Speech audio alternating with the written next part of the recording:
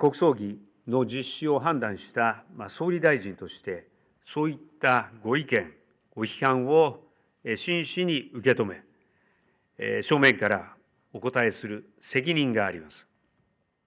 7波を乗り越えることが優先という言及ありましたけれども、これはその第7波の収束まで、こうした移行策の導入は見送るということになるのでしょうか。私の政権における大臣、副大臣、政務官については、自ら当該団体との関係の点検を行うとともに、関係を断つことの確約を得たところです。しかし、閣僚等を含め、自民党議員について、報道を通じ、当該団体と密接な関係を持っていたのではないか、国民の皆様から引き続き懸念や疑念の声をいただいております。自民党総裁として率直にお詫びを申し上げます。所属国会議員は過去を真摯に反省し、しがらみを捨て、当該団体との関係を断つこと、これを党の基本方針として関係を断つよう所属国会議員に徹底すること、旧統一教会問題関係省庁連絡会議や消費者庁に霊感商法等の悪質商法への対策検討会を設置しており、政府を挙げて被害者の救済に全力で取り組んでいきます。もとより、今回の国葬儀の開催は、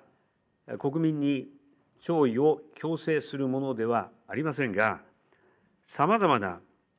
ご意見とともに、説明が不十分とのご批判をいただいております。国葬儀の実施を判断した総理大臣として、そういったご意見、ご批判を真摯に受け止め、正面からお答えする責任があります。そのため、国会の場で閉会中審査の形で、私自身が出席をし、テレビ入りで国葬儀に関する私の決断について質疑にお答えするという機会をいただきたいと考えております。全国ベースでの全数届出の見直し、陽性者の自宅療養期間の見直し、